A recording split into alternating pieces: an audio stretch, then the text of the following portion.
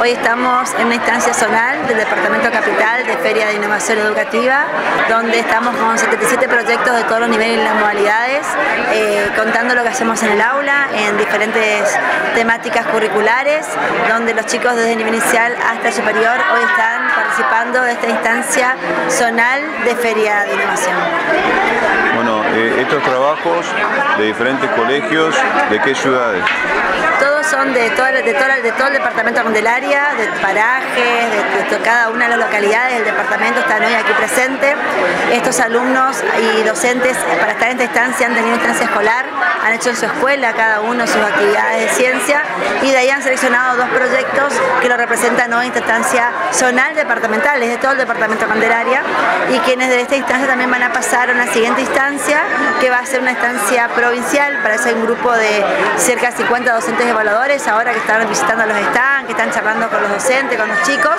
que son quienes van a seleccionar los proyectos que van a representar a Candelaria el 4 de octubre en la ciudad de Posadas, en la instancia provincial de Feria de Innovación Educativa. Luego de esa instancia provincial tenemos una siguiente instancia que es la nacional, se va a hacer este año eh, del 28 al 2 de noviembre, al 28 de octubre al 2 de noviembre en Tecnópolis y bueno, y ahí veremos también de esa instancia provincial quiénes van a ser los embajadores de la provincia en, el nivel nacional.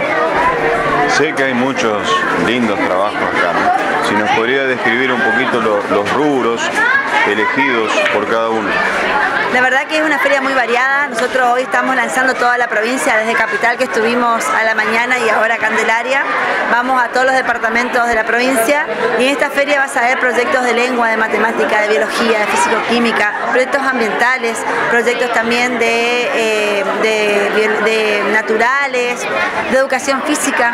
de, todas las áreas curriculares. Es muy variada la temática que hay, donde vas a tener proyectos de educación sexual, de trata de personas, de derechos humanos. La verdad que cada alumno en su área curricular con el docente desde la problemática o de la inquietud que genera hace su investigación y por eso es que las temáticas son variables.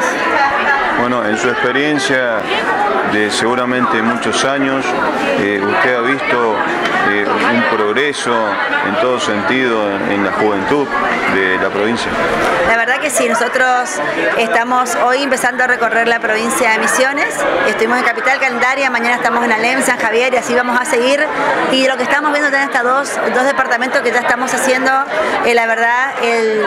la problemática de los jóvenes, de lo que por ahí vemos en el lenguaje adolescente, en las problemáticas de, género, están, están trasladadas mucho la investigación de cada uno de los proyectos donde los chicos eh, buscan sus explicaciones y también buscan eh, las justificaciones a cada una de sus decisiones o posturas y donde también se encuentran con la realidad de, cada actividad. Por ejemplo, en Posadas tuvimos hoy un grupo de adolescentes que trataba el vocabulario adolescente, donde también ellos, más allá que explicaban y veían las palabras y armaban un diccionario su vocabulario, donde traducían el vocabulario, también buscaban el significado de dónde viene cada palabra, que por ahí es una abreviación de otra eh, o es un sinónimo de otra, y de por qué, y de por qué también la importancia de la Real, Academia Española, donde tenemos nuestro vocabulario formal latinoamericano. O sea que de cada actividad y de cada problemática que ellos surgen o inquietud, sale una investigación que cada docente asesor lleva a la currícula y lleva también la formación eh, pedagógica del niño.